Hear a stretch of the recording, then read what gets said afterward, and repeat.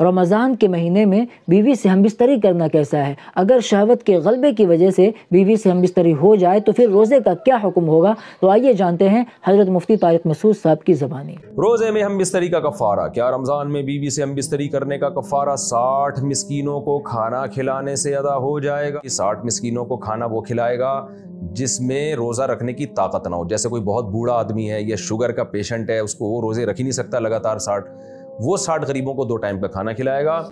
और, वरना अगर किसी ने रमज़ान का रोज़ा जान तोड़ दिया, चाहे बीवी से हम बिस्तरी करके तोड़ा हो या खा पी के तोड़ा हो तो उस पर कंटिन्यू सिक्सटी रोज़े रखना लाजिम है। खूब समझ लें। अगर एक रोजा भी दरमियान में छोड़ दिया या बीमारी से छूट गया तो नए सिरे से साठ रोज़े दोबारा से रखने पड़ेंगे। और इस रोज़े की कजा अलग से रखनी पड़ेगी जो इसने तोड़ा था। इसलिए रमज़ान का रोजा किसी कीमत पे नहीं तोड़ना चाहिए।